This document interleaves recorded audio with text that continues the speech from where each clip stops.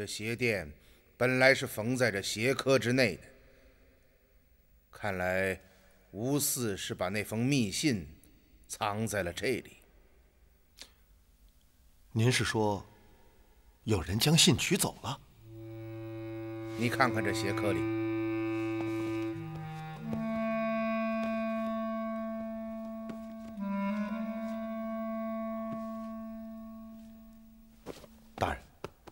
这是被利器划开的。嗯这就说明有人潜入停尸房，从他的鞋中取走了那封密信。难道是锦娘？绝对不是。你还记得吗？锦娘曾对如燕说，她还有很多事情没有做完，那是夜探停尸房的当天夜里。不错，这就说明她在停尸房中并没有找到那封信，这才对如燕说自己还不能死。永忠啊，啊，最近县衙之内有没有什么异常情况啊？哦，对了，前天夜里，衙役们说停尸房闹鬼，嗯，卑职率人前来查看，可是什么也没有发现呢。哦他说的就是锦娘夜探停尸房的那个晚上。不错，大人。按时间算，正好是前天夜里。除此之外，还有什么异常吗？没有了。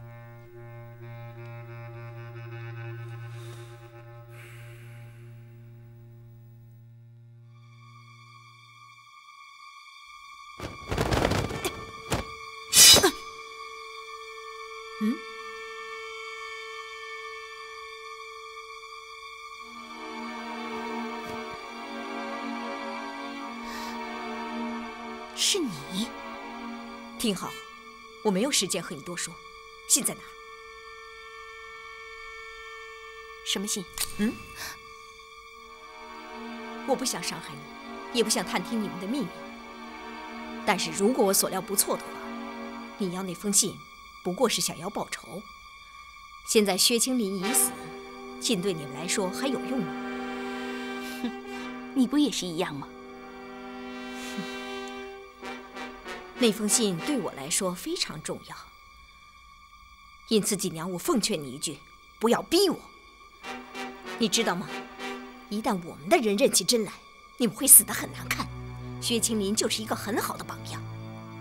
说吧，信在哪儿？信不在我身上。哦，当时，多尔将我抓回侯府，我把信交给了我爹吴四。吴四，他人在哪儿？他已经死了，尸体在县衙的停尸房。如果你敢骗我的话，我发誓会杀了你。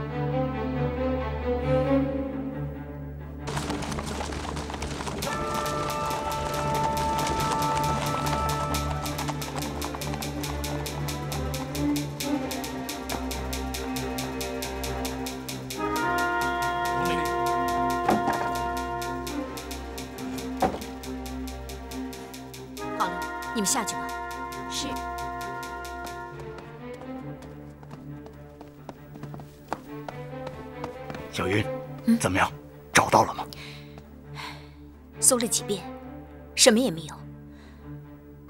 看来我们让锦娘给骗了。不对呀、这个锦娘为什么要欺骗我？她现在已经不需要这封信了，而且，在我们血洗侯府之后，这些人应该已经很清楚我们的能力。她为什么要为了这样一件已经没有用的东西，给自己惹来杀身之祸呢？我也觉得非常奇怪。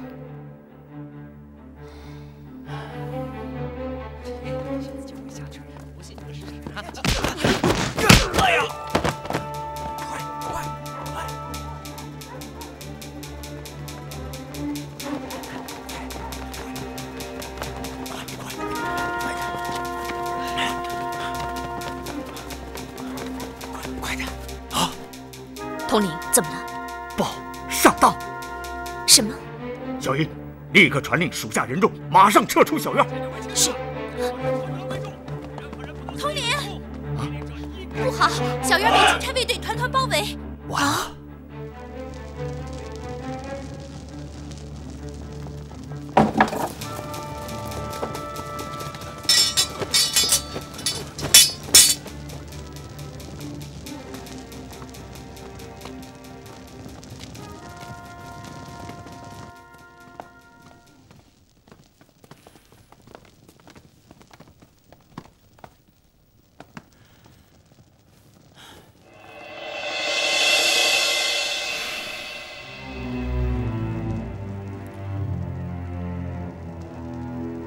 五年前的曾泰，今日的崩开，我真的不知道该说什么。元芳，让卫士出去。你们下去吧。是是。你们是内卫吧？是的，卑职申领内卫府格领之职。从你们血洗侯府、奇袭碎石滩之时，我就知道，你们根本不是黄国公的后人，而是牵牛背身府的内卫。你们的突袭能力，还有所用的双钩青羽剑，都令我触目惊心。联想到皇帝的行为，我终于明白了，皇帝之所以命内卫来到武平。就是为了寻找梁王给薛青林的那封密信，而且皇帝早在两年以前便已经派遣你们潜入到武平县中。阁老所言极是。这封信到底牵涉了什么机密，竟令皇帝如此大动干戈？这一点卑职也并不清楚。两年前蛇令案破后。卑职续宫右迁江州刺史，到京中吏部申命，皇帝特召卑职进宫。臣江州刺史温开，叩见陛下，万岁万岁万万岁！爱卿平身，谢陛下。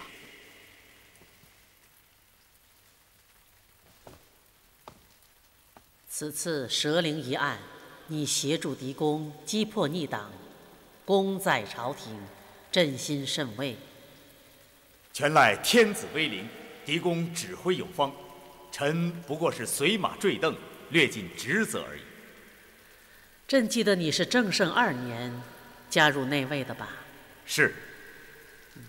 知道此次朕为何把你放到江州吗？呃，呃，微臣不知。江州治下的武平县有一个平南侯薛青林，强凶霸道，危害百姓，朕本想除之，然月前朕得到密报，说二十年前黄国公谋逆案时，梁王与薛青林有几封书信往来，内中关乎着此案鲜为人知的秘密。而现在薛青林手中还有一封，当年朕听说黄国公是遭他人陷害，因此朕一直想要弄清此事。此次派你到江州，就是为了暗中将密信找到，带出侯府，交到朕手中。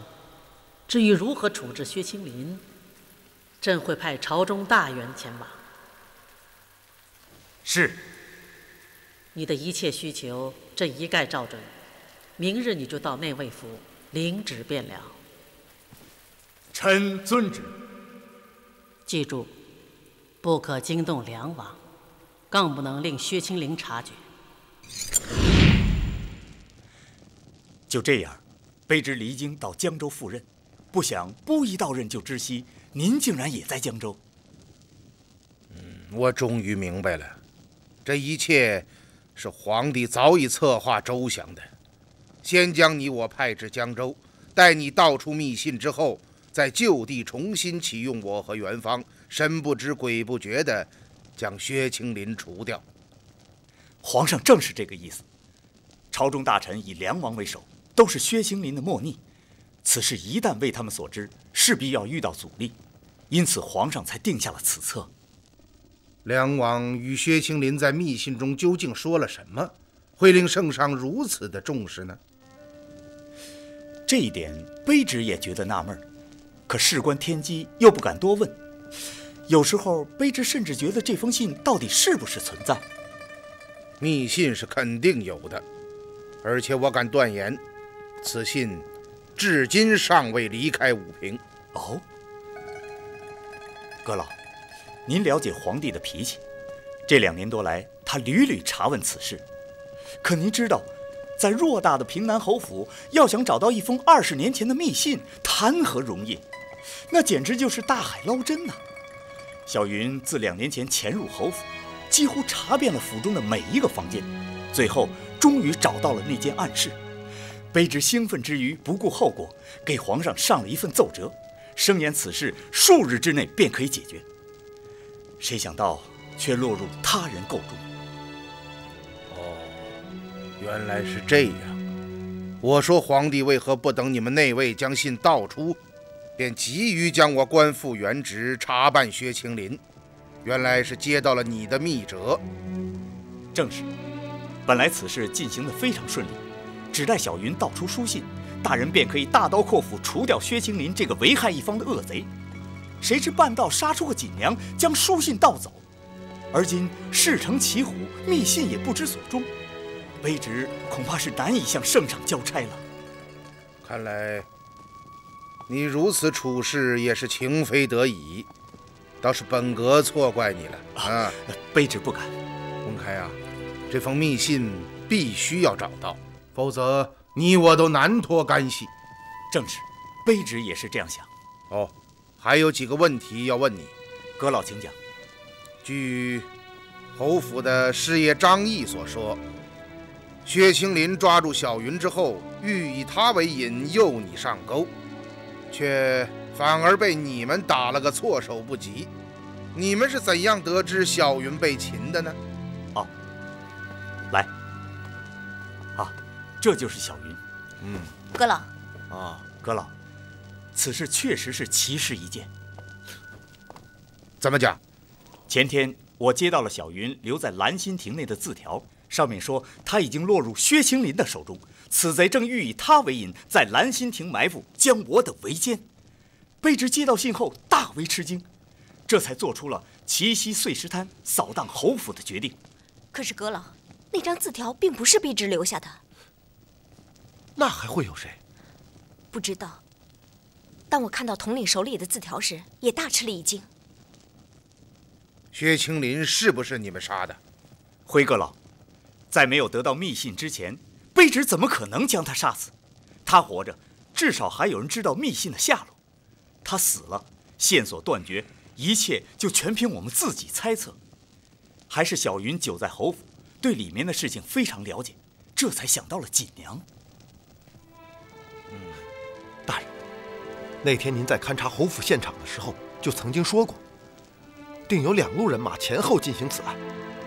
现在看起来，真是这样。李将军说的再对也没有了。那天在现场，您一说出这句话，卑职真是打心眼里佩服，只是不敢说出口而已。阁老，您可能想不到，看到薛青林被杀，卑职心里是又急又气，真是哑巴吃黄连，有苦说不出啊。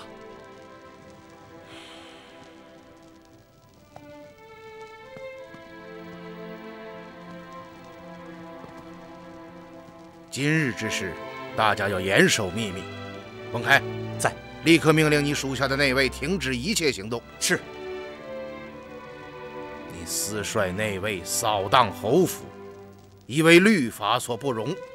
然，本阁念及此事，一乃皇上授意；二来，你良知未泯，未曾滥杀无辜，今日便网开一面，不予查究。然，尔等今后要将功折罪，再不可行此暗昧之事。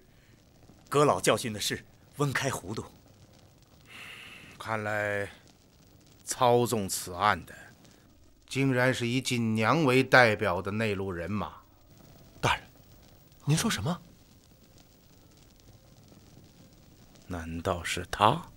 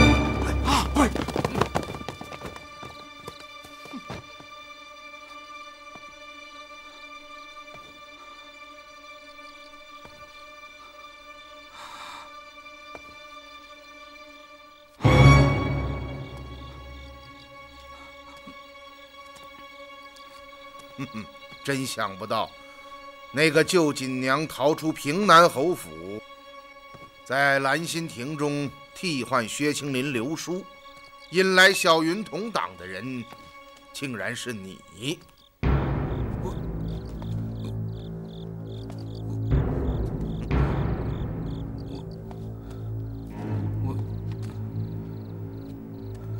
怎么，不想说些什么吗？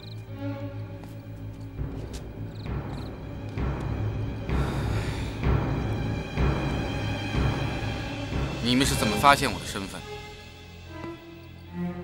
起初我并没有怀疑过你，只是觉得有些奇怪。锦娘一个如此弱小的女子，在没有任何人帮助的情况下，怎么能逃出薛青林的魔掌？但侯府被血洗，用元芳的话说，再想查出那个帮助锦娘的人，实在是太难了。然而。今天晚上，我与小云等人的谈话，提醒我想到了你。什么谈话？小云对我说：“本来薛青林是要以他为引，诱其同党前来一网打尽，是吗？”不错。此事我曾经对您提起过。是啊，但是小云的同党接到的纸条上。却将薛青林的部署一五一十地告诉了小云的手下，于是才有了第二天七夕兰心亭血洗平南侯府的那一幕。试问，是谁有这样的能力，可以知道薛青林的整个计划呢？只有我。想到了这一点，今晚我便提审了如燕抓到的那两个监视锦娘的侯府家奴。跪下！听好了，我只问一遍，只要有一字不实，立即推出斩首。是是是谁派你们来监视锦娘的？是师爷张毅。目的是什么？是。怎么不说实话？元芳，拉住砍了。是。啊！大大人饶命！大人饶命啊！我说，我全说。我们二人是师爷张毅的心腹，他派我们到狄府外，说是监视锦娘，其实是保护她。师爷跟我们说，只要锦娘出府，就立刻跟上，一定要保证她的安全。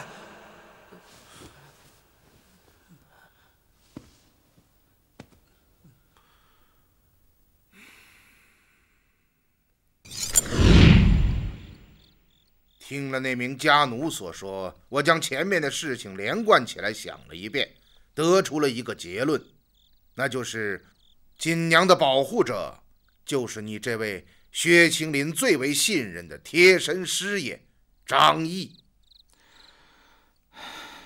是的，您说的一点不错，是我将锦娘救出侯府，也同样是我到兰心亭中换出了薛青林那张字条。引小云的同党前来攻击，你为什么要这样做？哼，为了杀死薛青林。薛青林是你杀的？嗯，是的。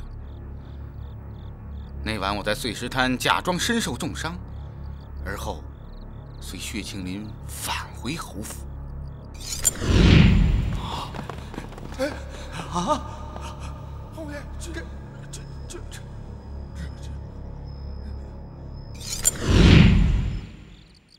我在东跨院和后堂门前连杀了两名家奴，而后再一次潜入正堂。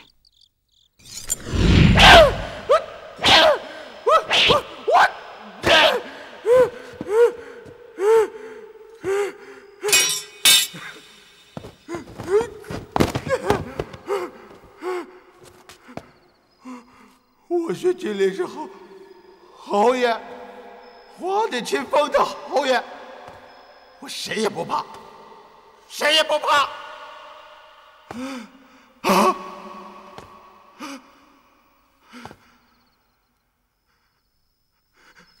是你！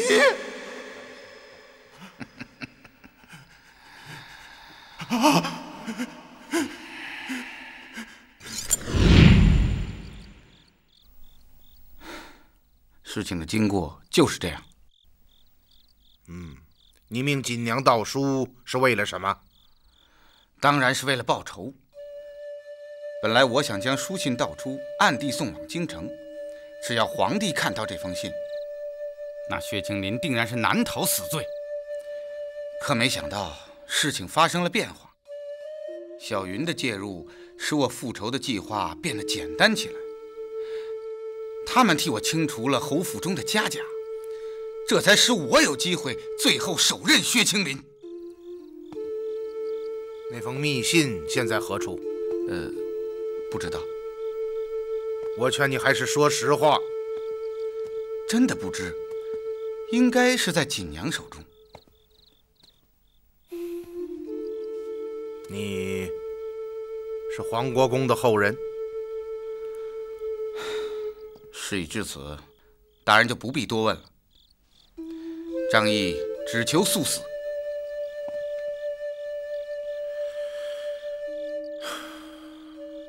仇恨。张怀，在。将此人暂押偏房之中，命卫士们好好对待，不可虐待刁难。是，请大人放心。走。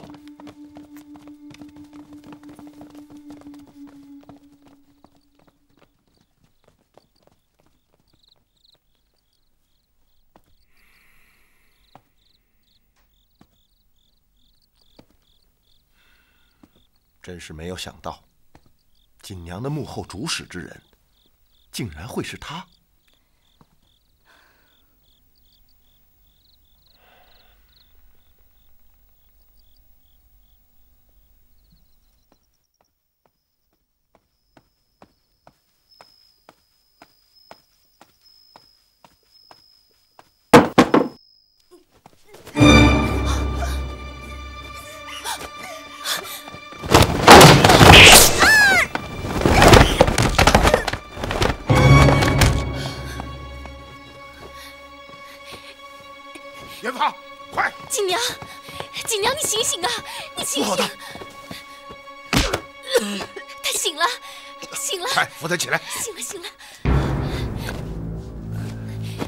锦娘，你这傻丫头，你这是何苦啊？锦娘，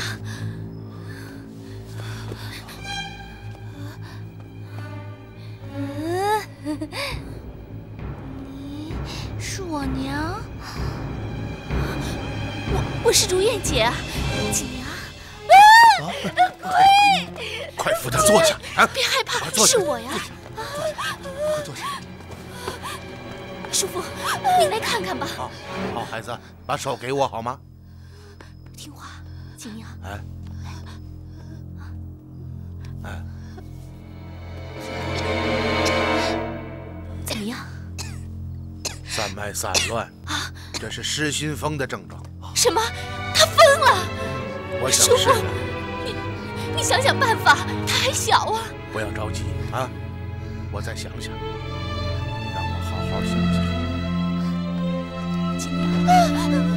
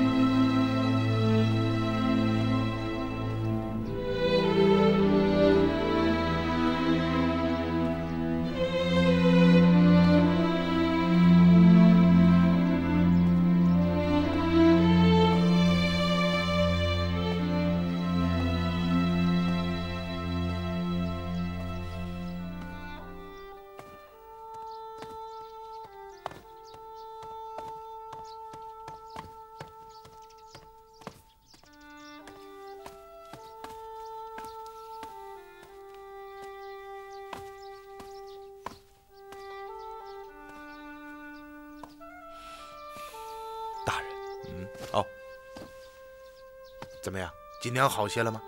服了您配的药，镇静多了，可还是痴痴呆呆不认人。可怜的孩子啊！大人，冯万春醒了。哦，走，去看看。嗯。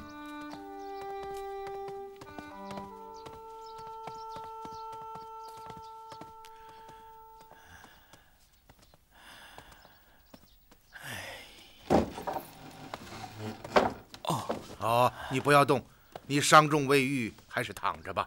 啊，这位就是狄仁杰狄大人。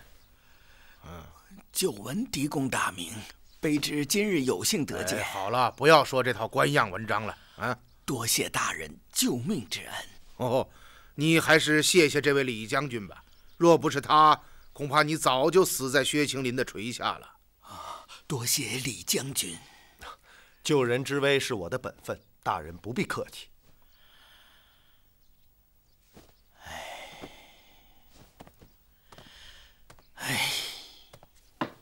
嗯，大人，我这个好武帝呀，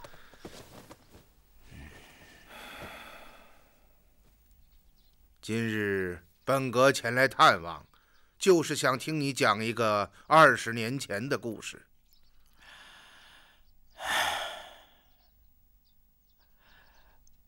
该偿的就偿，该报的就报，该还的早晚要还。从前，卑职并不懂这个道理，行奸使恶，还用尽心机藏头隐尾，这才致使有今日之灾。此次事后，卑职已经彻底明白了。狄大人，您放心，我绝不会再有丝毫的隐瞒。嗯，好吧，但愿你所说的，就是本阁想知道的。狄大人，恐怕我说出第一句话，您就会彻底惊呆的。您现在看到的薛青林，并不是真正的薛青林。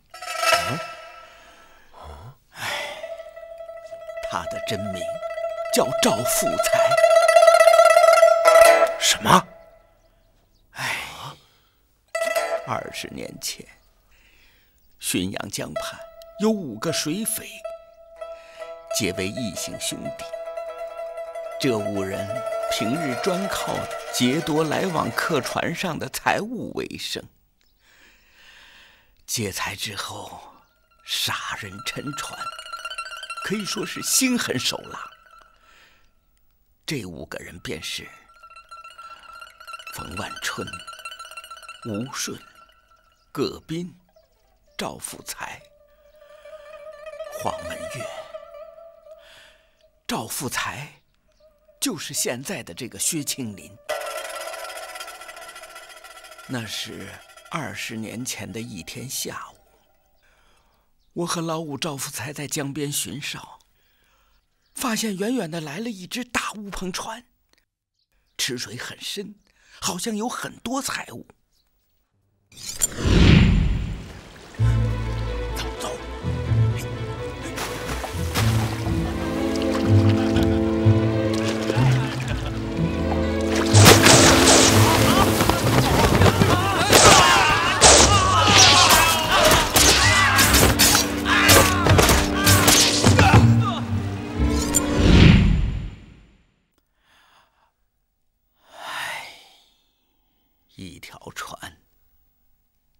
孩子，总共十余口，全部被我们杀死。现在想起来，当时的情景真是惨不可言。我们将船拖到档子里，检查了抢得的财物。这时候，老五赵福才在船上发现了一个包裹。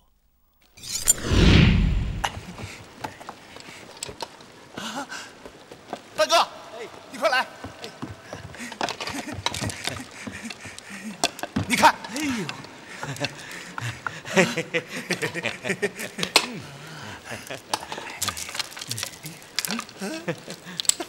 啊，哎，这是什么？这什么？没用，扔了吧！哎，啊，别介，哪天拿到街上，找代写书信的先生看看，怎么样？哎。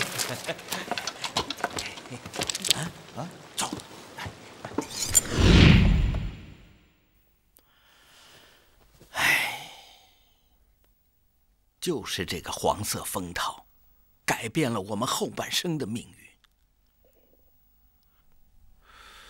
你说那黄色封套上面有两条赭色的飞龙？正是。几天以后，我们拿着在船上发现的身份文牒和这个黄色封套，来到了街镇之上，找了一个代写书信的先生。哦，哦，好。哎，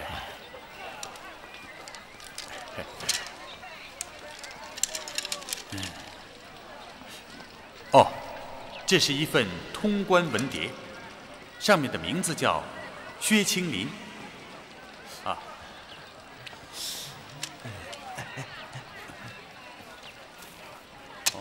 你再看看这个。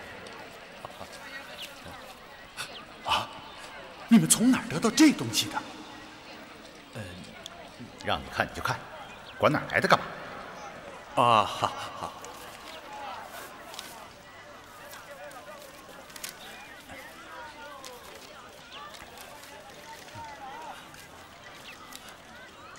啊，呃呃，几位啊，几位，嗯，你你你们还是随我到家里来说吧。走。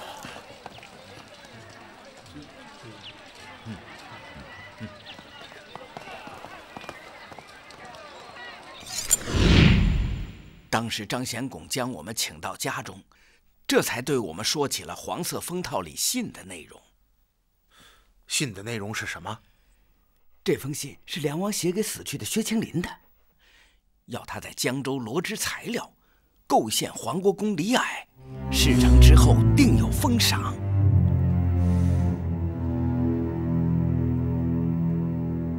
怎么，构陷黄国公是梁王授意的？正是啊。当时我们几个目不识丁，也不知道黄国公李矮是何许人，因此就没当回事。可张显拱却说，这是一宗大富贵。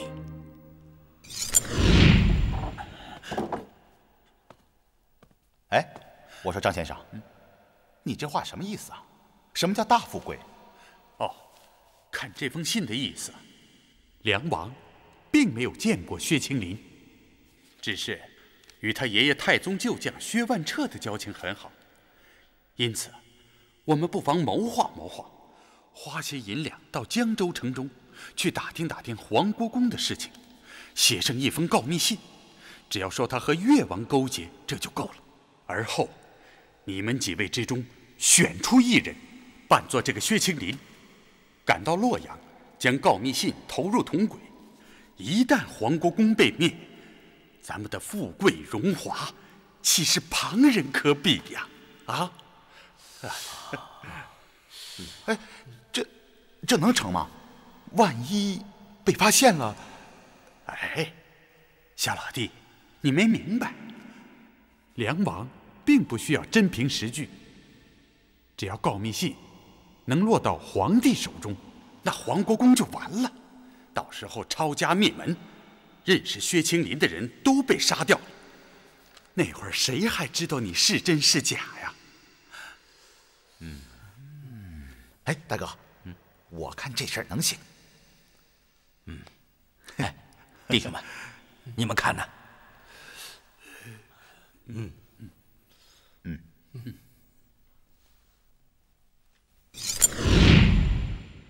就这样，我们六个人带着告状信来到京城，投入铜轨之中。果然，几天之后的一个夜里，我们居住的客栈中来了一个人。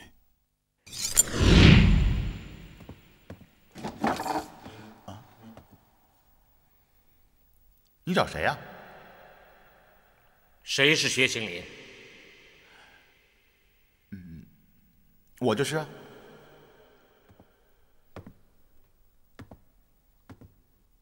这封信是你投入铜柜中的吧？啊，正是。坐下说吧。哎，请。后来我们才知道，来看我们的这个人，正是梁王武三思。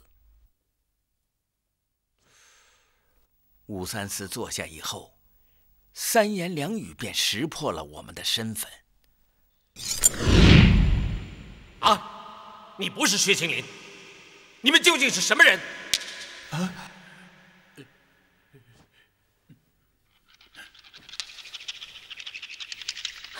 我说武大人，现在谁是薛青林还重要吗？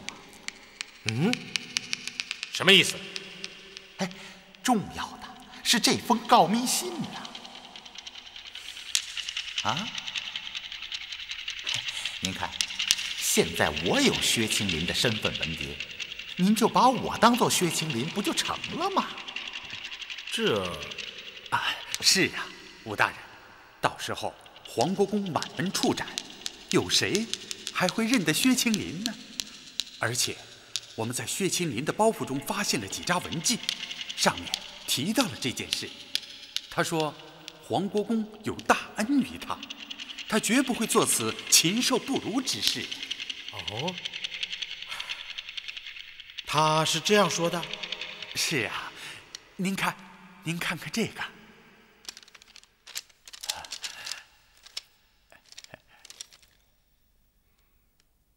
嗯，看来本阁是所托非人了。